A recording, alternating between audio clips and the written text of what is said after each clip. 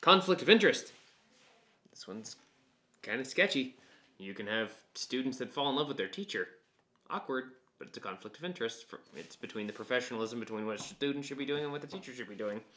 Um, Hillary Clinton is her own conflict of interest. So is Trump. We'll get to that later. Um, what else do you want to know? It's literally relationships or ideas or things that are said or exchanged that affect how both parties act between each other and not in a positive manner. For instance, going back to the student going out with the teacher. Conflict of interest. Why? Hmm? Why the hell is that a conflict of interest? Brad's laughing because I married a former student. But, but we made it not a conflict of interest because when because we weren't dating while we were in class with you while she was a student.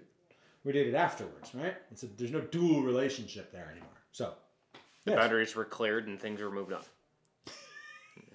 They've progressed. Woo. Yes.